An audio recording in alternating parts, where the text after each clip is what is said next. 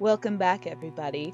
I'm Preposterous Miss Bradley, and you're watching Marchus Annus, the series in which I make an illustration in one hour and don't finish it because, in what world can you make a full illustration with typography and composition and everything in one hour? well, okay, I did get all of those elements in there today, and they're really good. Well, okay, not to toot my own horn, but I think they're a very good composition.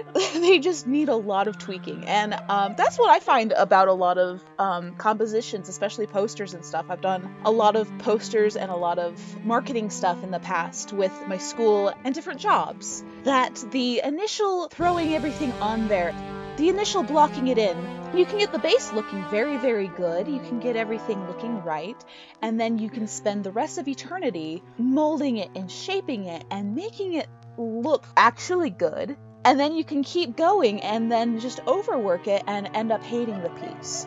So, yeah, I think I got a really solid first pass on this piece. A lot of the things I still want to get done with it is make the letters not just a straight up typeface, but actually mess with the letter forms and make them look sort of hand done instead of like a typeface, I guess, like I said. I also want to have them laying down on the floor and going back into perspective, kind of like in the sketch. You can see that back in the sketch phase, how I kind of wanted that to go a little bit more. I want to add a little bit more of a background, so like floorboards behind him and um, a little bit of detail in the black. I thought that this would have several different tones. I was mistaken. this doesn't have several different tones. This is a two tone piece. So you'd think I would have gotten farther in the hour, but I didn't. And that's okay. I got Bendy done in the hour, and that's what counts, right?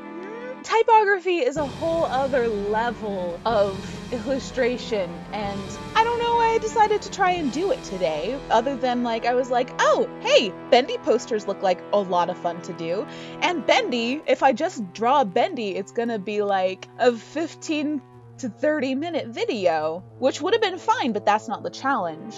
But anywho, it's been a hot minute since I've been able to do any typography, and I really wanted to finish that.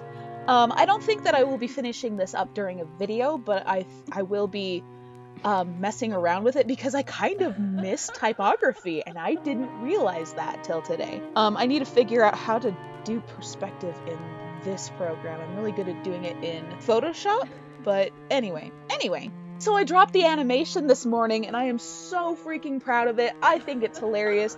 I don't care if nobody else even likes it but I would really like you guys to go check it out. So if you haven't seen it yet, uh, go check out on my channel White Diamond's new Rave Powers video and uh, maybe leave it a like. You don't have to. I'm just super proud of it and I want to show everyone. I'm like a little kid that's like, Mommy, Mommy, are you gonna hang my picture up on the fridge?